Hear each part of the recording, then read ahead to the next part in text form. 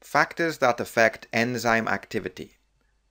Enzymes have a specific tertiary or quaternary structure that enables them to catalyze specific reactions. If the structure of the enzyme is disrupted, then the shape of the active site can change. A change in the shape of the active site means that the substrate can no longer bind to the enzyme and the enzyme loses its ability to catalyze a reaction. The enzyme is said to be denatured.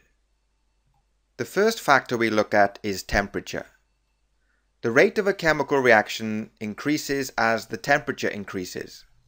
For enzyme catalyzed reactions, there is an optimum temperature.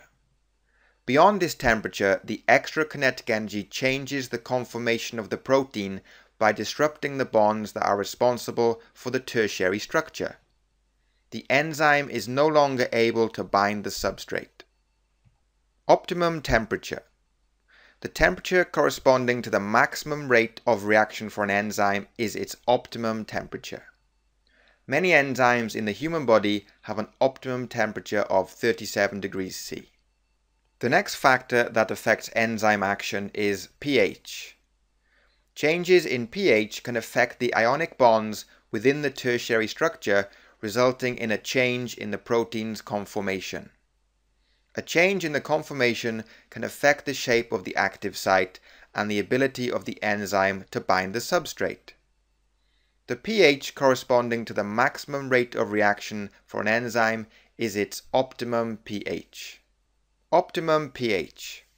Here we have two enzymes. There's pepsin, which is found in the stomach, and trypsin, which is found in the intestine. Pepsin, an enzyme found in the stomach, has a low optimum pH but becomes inactive once in the alkaline environment of the intestine.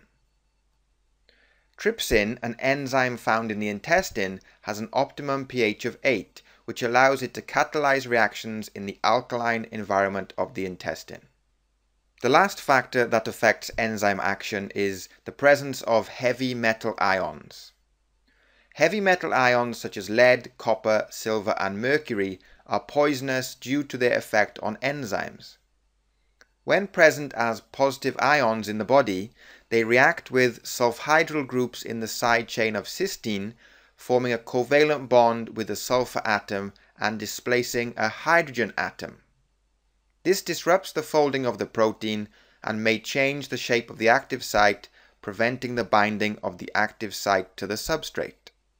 So here we have the sulfhydryl group in the cysteine side chain, and here's a positive silver ion, and the silver ion forms a covalent bond with the sulfur atom, and this hydrogen atom here is displaced, giving a positive hydrogen ion.